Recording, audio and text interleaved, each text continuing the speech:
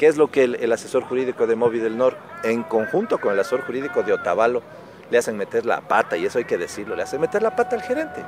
Le hacen creer que el proceso, más bien dicho, el momento de legalización de una, de una compañía es cuando Movi del Nor en octubre, o sea, dos meses, un mes antes del decreto, le entrega un documento para que pueda ir a la superintendencia de compañías a legalizarse.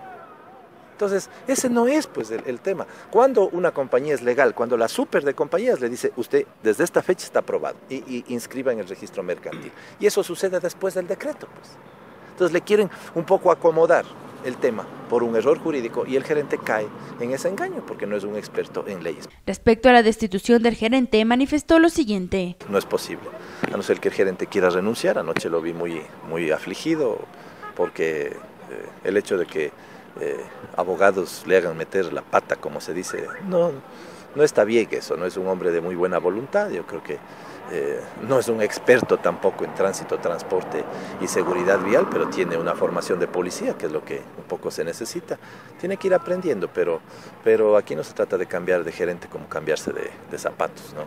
Eh, la empresa va caminando bien, con ciertos problemas y dificultades. A fin de establecer un diálogo, Castillo atendió el pedido de los taxistas en un encuentro en el auditorio Monseñor Loridas Proaño, donde les entregó la anulación de la resolución 009 de Movi del Nor firmada por la gerencia actual. Además mencionó que esto también se debe a la presión política de los alcaldes. Acá la presión política del alcalde de Otavalo y del alcalde de Cotacachi por su cantón, yo también les entiendo, por sus taxistas, por su gente, pero no se puede por el tema político ir por sobre las normas y en eso yo le doy la completa razón a la Federación de Taxis del Ecuador que ha presentado su impugnación.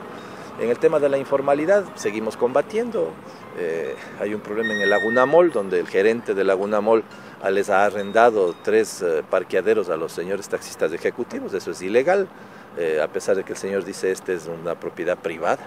Un ratito es un estacionamiento público, pues, para el público.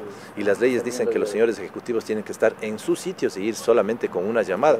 Entonces ya se les ha indicado a los señores ejecutivos que no pueden tener una parada en el Laguna Mall con cámaras de Galo Vinuesa para TVN Canal Elian España.